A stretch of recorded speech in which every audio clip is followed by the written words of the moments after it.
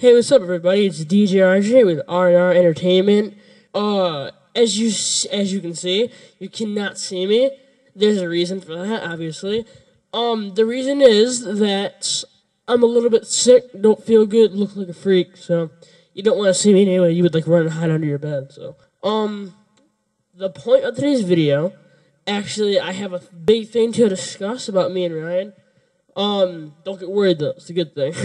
um yeah, we're gonna be going probably to one of our local radio stations. Now, up here in New York, there's two. Well, there's more than two, obviously, but the uh, most two like common ones are one called 93Q and one called Hot 1079.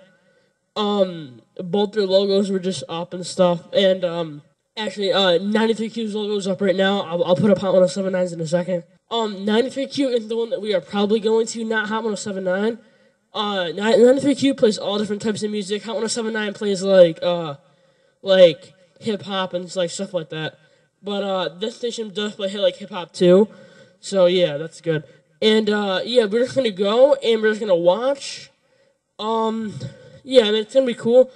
I mean, and we uh, might even like be able to like go on air and stuff like that. So, it's to be a great experience. Just just to get us some ideas with um our radio show 106.9 the our radio show. You know, just to get us some new ideas and everything like that. And um yeah, just a quick video explaining about that. I mean, me and him are really excited and uh, we just can't wait to get down there. So um yeah, just a quick video involving that. And uh, we will keep you updated about if we do go, don't go, what happens, and we might even bring the camera along with us so you can get some video. Alright, just a quick thing with that, and uh, I'm DJ RJ with R&R Entertainment. Practice and enjoy.